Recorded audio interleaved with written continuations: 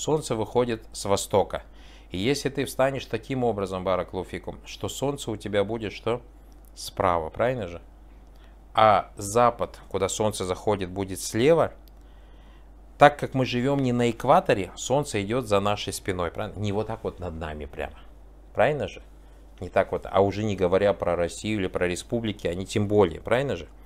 То есть вот, допустим, Судан, эти страны, они что у нас получается? Чуть-чуть выше экватора. Поэтому хочешь не хочешь, днем в полдень есть немножко у нас что? Тень на север. И вот ты, если встанешь ровно лицом на север, у нас тем более сейчас на всех телефонах есть компас. И вот так вот ты смотришь, допустим, на свою тень. И у тебя полдень, зенит, это когда твоя тень ровно смотрит на что? На север. Ровно смотрит. И как только твоя тень склонится на восток, немножко на восток, почему? Потому что солнце же пошло на запад. Вот это баракалуфикум, солнце что зашло в зенит. И вот это, как только солнце вот один миллиметр на восток пошло, все это время обеденной молитвы. Это время обеденной молитвы. Эти вещи, о которых я говорю, человек должен о них знать, баракалуфикум.